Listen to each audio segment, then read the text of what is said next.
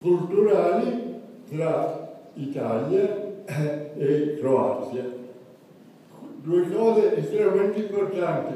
Purtroppo io non voglio superare i 5 minuti che ho detto che devono essere rispettati da tutti.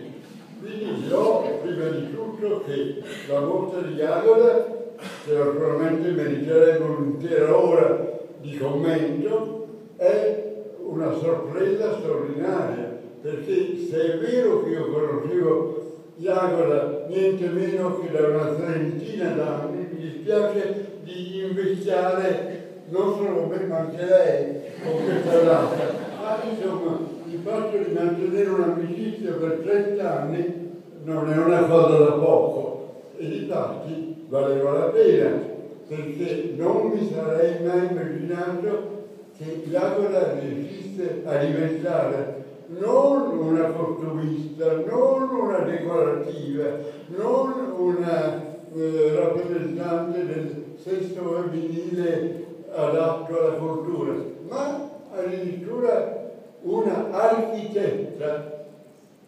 della tappezzeria. Le sue non sono soltanto sculture, sono architetture che riempiono gli spazi del Revoltella in un modo che non avrei assolutamente immaginato.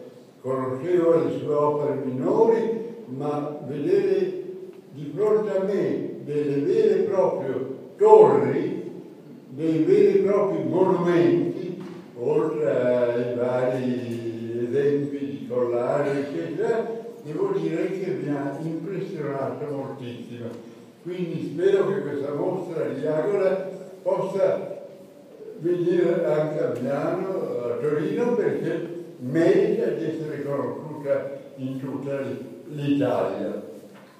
Mi dispiace di non potermi soffermare di più su Iagola che però voi avete a vostra disposizione, quindi è meglio vederla che sentirne parlare. Due parole almeno per questo incontro Italia-Croazia che mi pare una cosa estremamente importante, perché i fondi rapporti tra i due paesi sono sempre esistiti, però il periodo fascista ha tagliato netto quello che erano questi legami. Mi ricordo che mio nonno paterno, direttore della cultura eh, a Gorizia, telefonava tutti i mesi al suo corrispondente di Lubiana e a quello di Zagreb, anzi Zagreb come si diceva allora. Quindi allora quando io avevo 8-10 anni si parlava continuamente di Zagreb, tanto più che un mio, eh, una mia prozia aveva sposato un eh, agramese, oltretutto per sua fortuna possessore di due o tre palazzi nella Ibiza, per cui già allora io andavo spesso a Calabria a vedere, non a vedere quei palazzi, ma a vedere le bellezze della città.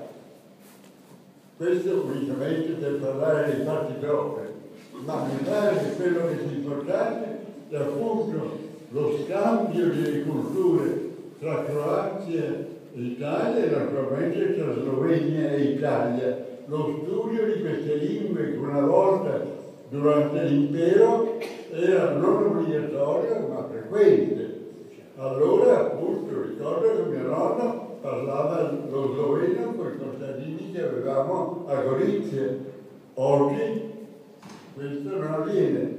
Mi è successo di andare a Gorizia recentemente a trovare quei vecchi contadini di che non sono più me, e allora dicendogli due parole in sloveno, Cacostatila per esempio, ho visto con soddisfazione che esiste anche un rapporto linguistico sopravvissuto.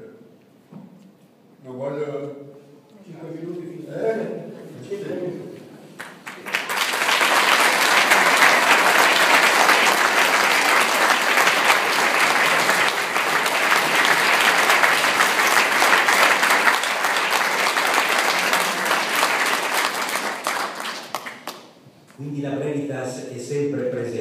Tra l'altro Gillo, tu sei del 1910, sì.